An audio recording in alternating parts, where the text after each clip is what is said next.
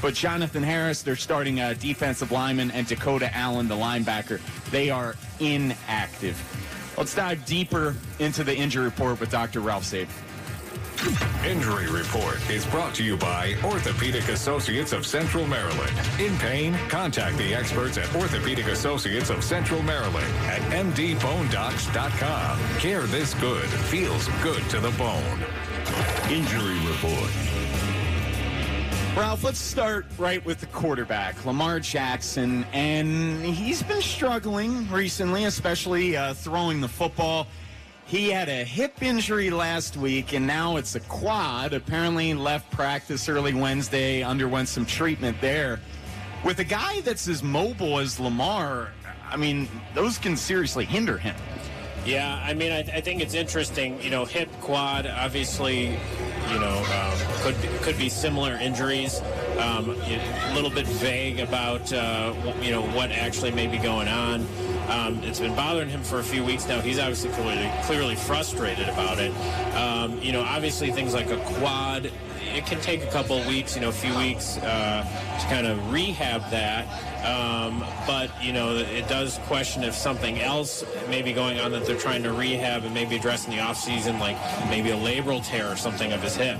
Uh, something that, you know, may be a little more problematic during the season, especially for someone as mobile, you know, as he is. And, and that's what I was going to say. In particular for the quad, when it's these type of soft tissue injuries, eh, you aren't at a point in the season where you can just rest it, where you're, you're in a playoff run.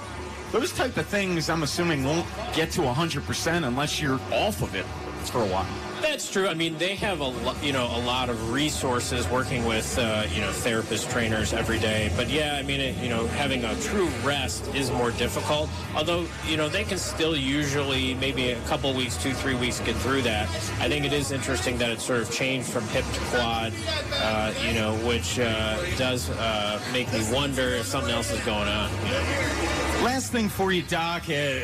We're two years into COVID, and not that all of this is COVID, but there seems to be a, a bug going around the Ravens locker room. There's been at least a handful of guys miss practice over the last week. I, I guess what can the team do to help prevent that from spreading? Yeah, I mean, unfortunately, I think you know, COVID, as we all know, is, is a part of our lives now. It's going to be an every year thing, and uh, you know, even before COVID, you know, as it gets into these winter months, the flu is going up. COVID numbers, uh, you know, are, have gone up uh, slightly. I don't think it's. Um, uh, as uh, you know threatening maybe as it was when it initially started, uh, but still something that you know causes people to miss games, you know causes uh, illness, and uh, you know I think unfortunately moving forward, this is going to be a common thing every time it gets to this you know this point in the year. He's Dr. Ralph Zade, joins us every week. And Doc, thanks so much as always. Thank you guys. You got it. We are an hour, 20 minutes away from kickoff. Ravens, Broncos, week 13 in the NFL. Coming up next, Vinny Cerrato is going to rejoin the program, as well as Mike Preston. We're going to